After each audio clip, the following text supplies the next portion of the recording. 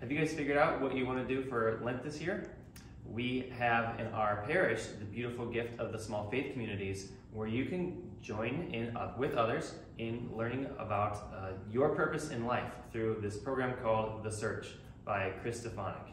It's a really beautiful way of exploring those deep questions of the human heart. Why am I here? What is this all about? What is my meaning?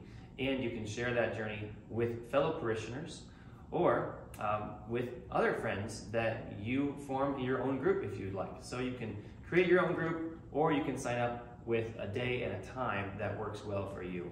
You can do that online or you can do it in the parish hall, uh, sorry, in the gathering space of the church before February 8th. And uh, it doesn't cost you anything to join, uh, and it will give you great benefits for your own spiritual life and help you in bringing others closer to the Lord because of those questions of the heart. So please consider it for yourself.